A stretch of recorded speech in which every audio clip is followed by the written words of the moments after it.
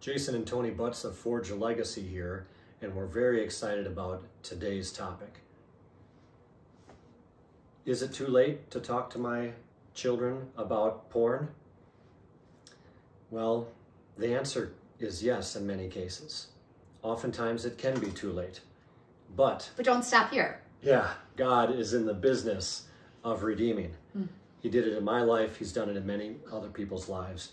And so He's in the business of pulling people out of the darkness. It doesn't mean that there won't be natural consequences for not being proactive with this topic with your children.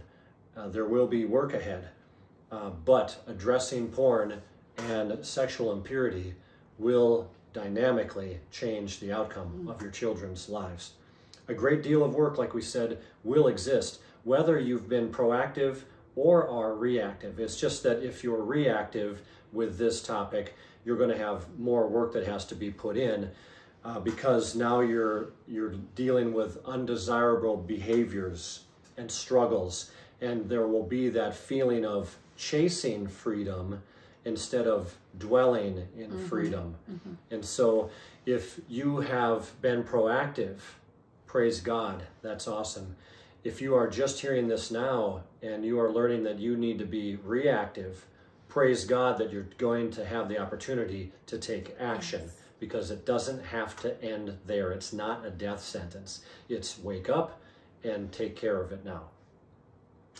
So waiting until your child hits puberty is often too late. And in fact, that's the mistake that many parents make, especially ones in churches. In Christianity, a lot of parents believe that they can wait until their child hits puberty or comes close to that before they start having discussions about the opposite sex and the dangers of porn. Oftentimes, that can be too late. And so, what we share with you today, we hope it will encourage you, again, to take action. Now, we understand that it's uh, not a risk that you may want to take to talk with your children, but it's worth it.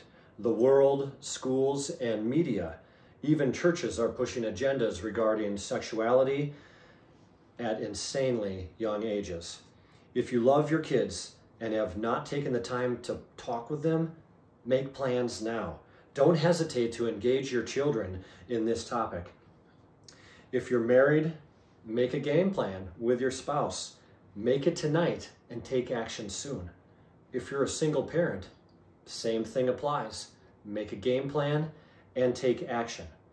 We will address this topic to a fuller extent in the video, When Should I Talk to My Kids About Sex and Porn? But this one is about, is it too late and what can I do about it? Well, my story is that I was exposed to porn at seven years old. Shortly thereafter, I became fully addicted to it, and it changed my life for the worse. But back in those days, porn was available as magazines, videos, and maybe a pay-per-view channel. It's pretty hard to get. But now it's free. It's up in our faces. It's just a click away on the internet. There's a variety of places that show soft porn, hardcore, and other scandalous images like lingerie and swimming suits that are right at our fingertips. And it's a dangerous thing, not just for adults, but for children, as they potentially are on more and more technology as they are becoming educated. In fact, one of our sons typed in the words Star Wars because he wanted to search for Star Wars when he was young. Interestingly, at age seven, the year Jason was addicted to pornography. So before he clicked it, he asked me how to spell it to be certain, and he was right. And he clicked, and I saw what came up, and I pushed him out of the way, which scared him. it was my quick decision of, Mama Bear. this is a computer screen and you're not going to see it. I don't know that he actually saw it because I pushed him. I apologized to him and I explained to him why I did that right after that. But the fact is, the enemy of our souls is out to get our kids. He spelled it correctly. And what popped up was anything but innocent Star Wars Lego. Yes. Yeah. So again, just proof our real world experience of how careful we have to be and how something can happen in the blink of an eye. So safeguards are important. Be a parent that takes a stand and stand guard for your children's Mm-hmm. innocence because it matters now and it will matter in the future and your children will thank you for it. I want to read from Proverbs 5 5 through 23. And this is really scripture that embodies a father speaking to a son, telling him about the dangers of sexual immorality, hmm. of an adulterous woman is more of the, the terms, but it, it, it, it applies. So listen carefully as I read this through. My son, be attentive to my wisdom. Incline your ear to my understanding that you may keep discretion and your lips may guard knowledge. For the lips of a forbidden woman drip honey, and her speech is smoother than oil. But in the end, she is bitter as wormwood, sharp as a two edged sword. Her feet go down to death, her steps follow the path to Sheol. She does not ponder the path of life, her ways wander, and she does not know it. O now, O sons, listen to me. Do not depart from the words of my mouth. Keep your way far from her, and do not go near the door of her house, lest you give your honors to others and your years to the merciless, lest strangers take their fill of your strength and your laborers go to the house of the foreigner. And at the end of your life, you groan with your flesh and body consumed, and you say, How I hated discipline, and my heart despised reproof. I did not listen to the voice of my teachers or incline my ear to my instructors. I am at the brink of utter ruin in the assembled congregation. Drink water from your cistern, flowing water from your own well. Now, this is talking about a married man drinking, sleeping only with his wife, spending only time with his wife like that. From your own sister. Yes. Should your springs be scattered abroad, streams of water into the streets, let them be for yourself alone and not for strangers with you. Let your fountain be blessed in the, and rejoice in the wife of your youth. May you be intoxicated with her all the days of your life. Why should you be intoxicated, my son, with a forbidden woman and embrace the bosom of an adulteress? For a man's ways are before the eyes of the Lord, and he ponders all his paths. The iniquities of the wicked ensnare him, and he is held fast in the cords of his sin. He dies for the lack of discipline, and because of his great folly, he is led astray. We pray this scripture over you and declare that you and your family and your lineage would not suffer a son, a daughter, a life that does not submit to the Lord Jesus and stay clear of wicked ways. So when we talk about talking to our kids, it's important to set up safeguards. We need to take a stand and stand guard for the innocence of our children. And keeping them innocent is a good place to be. Yet talking with them appropriately in a healthy way causes them to maintain innocence but have understanding. There are certain things we can do just to put up fences, walls, blocks, whatever you want to call it. And one of those for us was an example of recognizing that I was getting lingerie catalogs in the mail with my name on them years and years ago. It was back when catalogs were prevalent. And immediately I saw that in my boys, I would regularly send them out to get the mail. And I didn't want them coming across that even once. That would just Right. put a, for you, that caused a problem as a young boy. Oh, yes. It, it puts, you know, bells running, ringing maybe in your head or something to that extent. And I didn't want that. So I immediately took that. I took the phone number off of it I destroyed the catalog and without the boys knowing or anything. And I called the company and I asked them to remove me from their mailing list. And they, uh, the woman on the other end of the line was floored that I would do such a thing. And yet that's the kind of stand we need to take. There are some times that you may need to take a bigger stand. You know, these walls, these you know, fortify your city, right? Yes. Fortify your city. Erect walls of of safety. Obviously, as the children grow, they're going to have more experiences where they have to make some decisions for themselves. But when they're innocent and you're building that understanding, be careful you have that that time to build that understanding first. And if, you know, again, if you've blown it and you you've been passive on it or they've gotten into things and you have no idea how, now is the time. Repent to the Lord for your part in it or what you didn't do. Mm-hmm. Turn 180 degrees. The Lord's in the business of that. And then allow Him to guide you to build and repair things because the word says He's the restorer of the breach. So if there's a breach, you can you can guarantee He'll come in and give you wisdom on how to move that. So don't say, oh, it's too late, too bad, too much. Go after it. You need to take purity incredibly seriously, even to the point that you may look foolish in the world's eyes. That's yes. okay. Mm-hmm. That's okay. Yes, you will not be foolish in the Lord's eyes.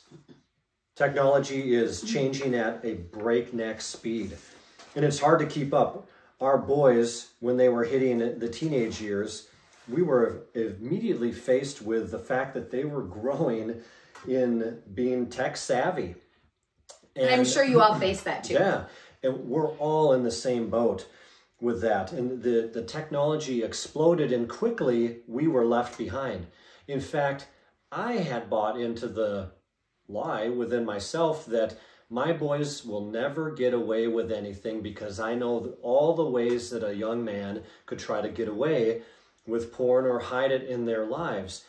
But again, it was magazines, videos, and scrambled channels back in your back day, in and it's day. a different world. It's a totally different world now, and I found myself absolutely left behind, scrambling and saying, God, I was foolish to think like this. I thought I had set up parameters and safeguards to love my sons, but I've blown it already because some of this stuff was able to slip in and even even the areas where it had nothing to do with porn or anything trashy the boys were growing exponentially in their ability to use technology, and I was falling behind. And that told me that if I'm not up to snuff or striving to stay ahead of them, I would fall behind and they would be able to possibly fall into dangers. Yes, and, and we, we just didn't want that for them. And yes. so, again, the Lord speaks to his kids says that in John 10 10. I, I you know, in in that verse to in the verses, the, the passage to follow, listen to his voice as to how to lead your family and set up these cities, these fortified cities. Yes.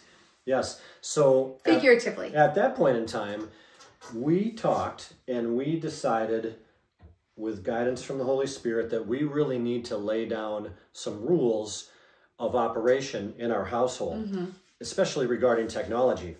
Technology defined as cell phones, iPads, televisions, anything that create that connects to the greater world. Let's define that as technology instead of creating any kind of excuses for it. So we ended up with basically four rules overall. Now, we wanted to make sure that we met the hearts of our sons. It wasn't always about the rules, but the rules were steady.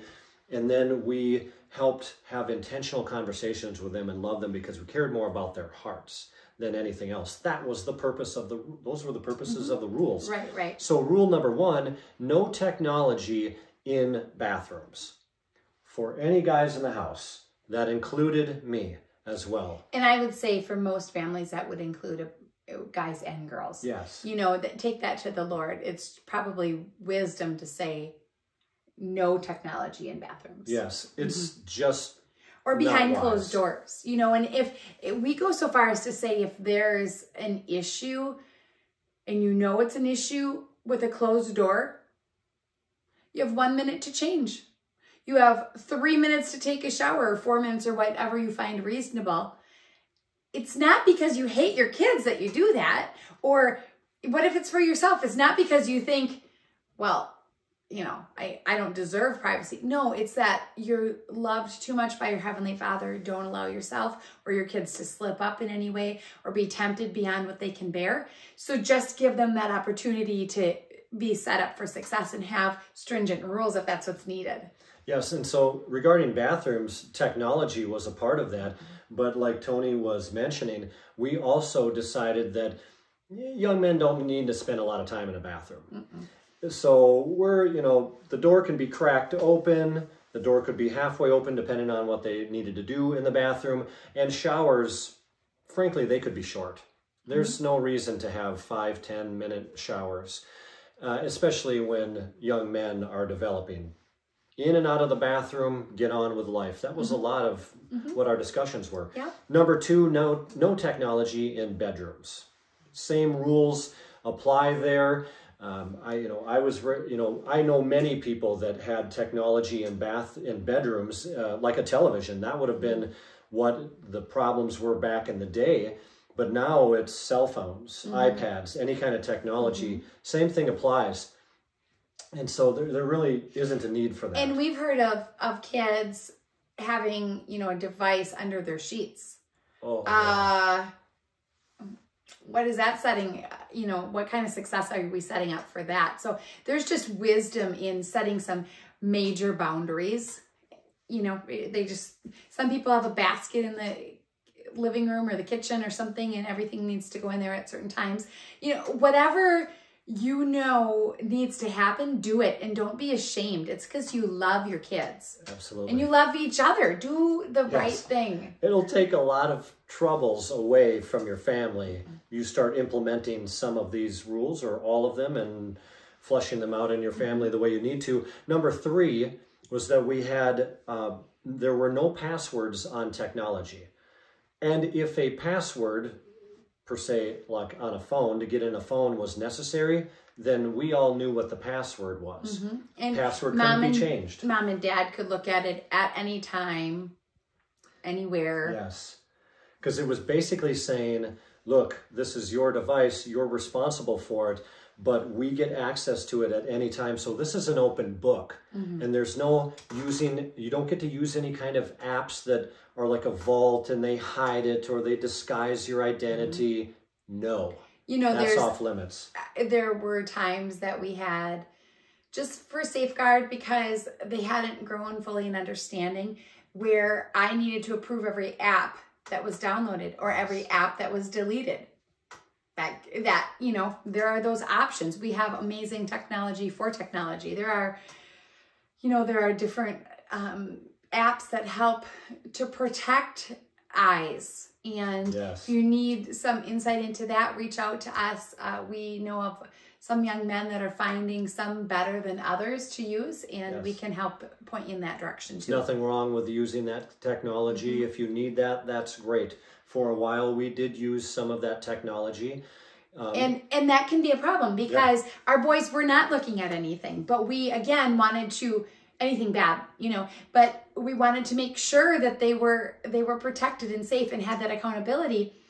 And what happened is the software that we used, is that what you would call it? Yeah. Yeah.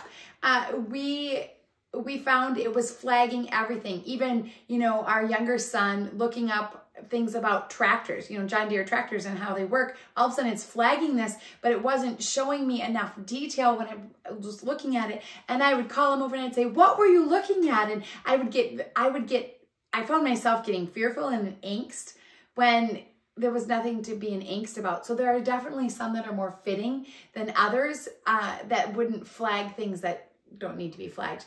It's even okay to say, you know, I know the world in 2023 operates on YouTube and looking things up online and this is just what I need. Well, we've gone so far as to say, no.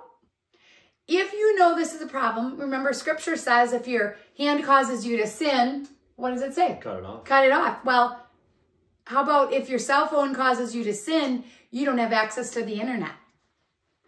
Maybe you have a smart you have a smartphone now, maybe you remove all ability to get on the internet.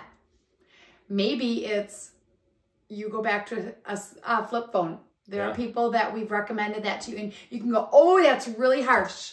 Well, I'd much prefer that. Right.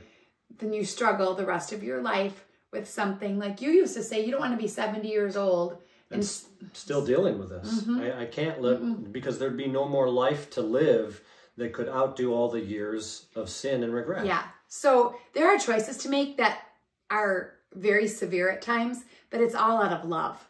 Yeah. And I think what you brought up, Toni, was a, a perfect example of some of that technology. Now, we are encouraging people to use it. Some of those uh, Christian technologies that help protect eyes and you know, survey where you've been on the internet, go for it. Our experience with some of it was that it flagged some things that weren't they weren't wicked. The boys weren't looking at any porn or anything else that was terrible. And so I guess the big thing there was it was about the heart. Mm-hmm. We did get a little anxious or freaked out and concerned about it, mm-hmm. but it always led to a conversation. Mm-hmm. Fairly soon thereafter, we started to understand that, oh, okay, this system is flagging that system. kind of thing. Yeah. I need to quit this system yeah. go to a different but system. That, but also it wasn't about the rules as much as it was about the hearts yeah. of our sons. Mm-hmm. That's where we're trying to talk about that balance. Don't ditch good rules for heartfelt level stuff. Keep good rules, but understand the heart is what ultimately mm-hmm. matters. Yes, yeah. So number four is that we had household rules, consequences for breaking those rules. And that if anybody visited any sites that were inappropriate or downloaded any of that material, there would be consequences because we said as this household, as for me and my house, we will serve the Lord, and that filth is not allowed. Mm-hmm. It yep. is prohibited. Yes, yes. So let's talk a little bit about recognizing teachable moments because I think that's really where it's at when we're looking at you know, talking to our kids about healthy relationships, healthy sex. Encourage relationships. Encourage them, be a part of those conversations. Talk and reflect on what you've seen that's good and what's not good. You know, as you sit at the dinner table at night, that's a great time. After dinner, driving somewhere, you know, make the most of every opportunity. Ephesians 5 says, because the days are evil. If they were evil in Paul's time when he was writing Ephesians, tell me what they are now. right? And so we must make the most of those opportunities and teach our kids to think about thinking. That's called metacognition in educational psychology. It's really think about what you're doing, think about what others are doing, and then is thinking with the end in mind is this leading to the direction I want? You know, when I look at a road and if I'm one degree off, I'm going to end up at a different destination than I had wanted to be at. So, I want to keep that end in mind, live intentionally, and think that way, not only for myself in training my kids, but teach my kids to think that yes. way. So, you know, will this choice help me get to that end? Where could this choice lead? What are the potential outcomes? Those are some questions that it, we want them ingrained in ourselves, you know, that it's not oh, now I need to sit and reflect on it, but it becomes an automatic. So no matter where kids are at, whether they're at school, they're watching movies, hanging out with friends, they could even be at a youth gathering, everyone. It's so important to recognize that there's healthy and unhealthy things happening all the time. Yes. And is it moving me in the direction I want? And is it going to, you know, I can't make a decision for that couple sitting on the couch making out but I certainly can make that decision for myself and go, mm, that's not going to lead the way I want. I'm not going to do that kind of thing. I'm setting up, I'm fortifying a wall here, yes. you know, in my mind. That will help kids make pure choices along the way. When we talk about real life situations with our kids, even movies, right? You can watch movies and you could just watch the movie and shut it off and everybody goes their own way. Or what we've done for years is unpack it. Yes. you know, so what kinds of things happen, what even, you know, the relationships that happened in the movies. Mindsets really develop around choices, and it's one choice upon the next that mindsets are developed by. So these smaller choices add up to larger choices tomorrow. So let's be wise about making the most of those teachable moments too. Walking alongside our kids is so important. And then helping them know the long term really helps because why would they want whatever you're wanting for them? Help them know the whys behind it. Give them a buy-in for good choice, good choices. You know, tell them your story. Tell them where you've messed up. Mm-hmm. Tell them where you've succeeded. Tell them where others have messed up. Read them stories. They can be 16 and you can still read them stories, guys. You can go, mm, that's a little weird. I don't think so. I think it's, you know, everybody relates to a story. And so if you chat about something that happened or you've seen this happen, and you ask them, what do they think about that? What an opportunity for them to get an ability to discuss and reflect, and you kind of can help their thought process.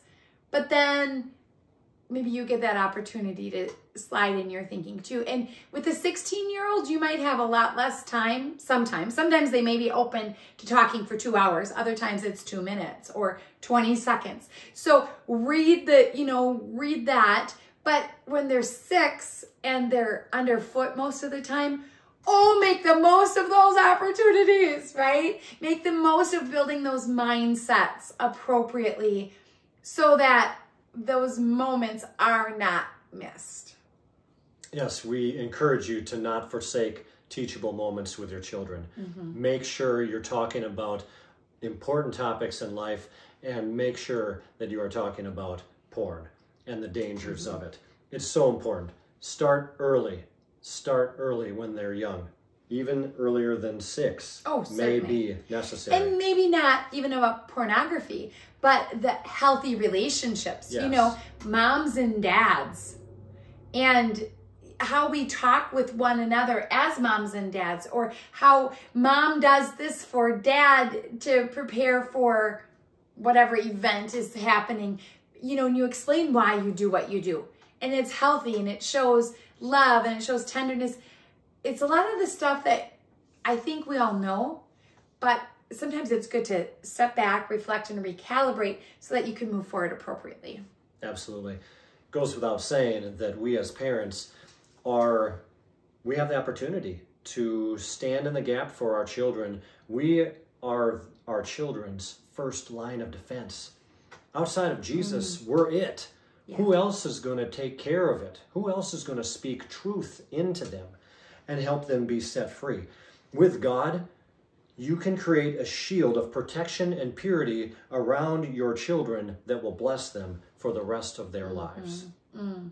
Great. Yes. Can we pray? Yes, let's pray. Father in heaven, how good it is to be in your presence, how good it is to be reminded of the things that matter for eternity. Lord, we ask for these dear ones watching this video, tuning in, that they would have the minds of Christ and they would have your hearts to walk in a manner worthy of the calling to teach their children about healthy relationships, teaching their children how to fortify their cities to become wise and discerning and to be able to ward off the enemy's attempt to take them down. Lord, we thank you for the wisdom, we thank you for the knowledge, and we thank you for the discernment to walk this out in the mighty name of Jesus. Jesus, we are so in debt to how good you are to us. Thank you for spilling your blood for us. Thank you for creating the opportunity for us to be able to go to heaven if we choose you to be our Lord and Savior. Mm-hmm. And Father, I know, we know, those that are listening, are learning or they already know that this is such a serious situation to make sure that they are not delayed in how they show love to their mm. children and their family. You if hesitation is not protection, hesitation is not love. Mm. And so the things that if hesitation has been there, then repent. Repent of it and then take action. Jesus, I'm sorry. You just say that. Jesus, I'm sorry for whatever it is that that you've hesitated. I've messed up. I need your help to guide my kids. You love them more than I do. Yes. Thank you. Yes.